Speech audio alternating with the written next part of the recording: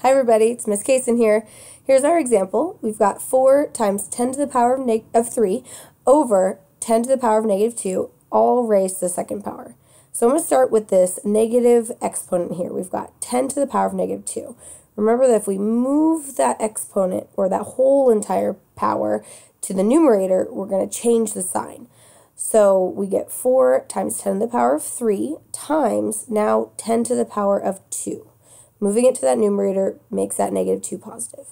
Now we've got everything to the power of 2. I'm going to keep simplifying.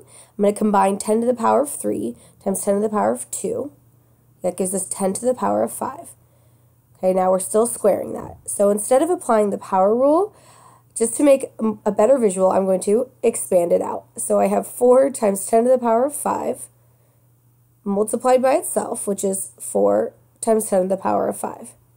I know that doesn't look nice, but it's 10 to the power of 5. So remember, we're just multiplying, so we can use the commutative property of multiplication.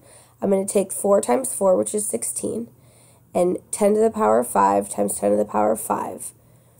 Combining those exponents, we get 10 to the power of 10. But remember, this is scientific notation, so that first number right there, 16, can't be 16. We need to rewrite it as a number between 1 and 10. So that means that the decimal needs to be moved over 1.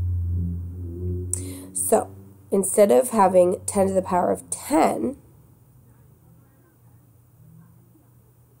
right there we've got 16. We need to move that decimal over so it becomes 1.6.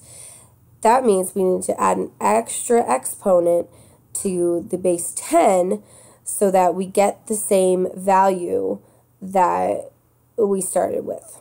So now instead of 16 times 10 to the power of 10, we get 1.6 times 10 to the power of 11. And that's our final answer.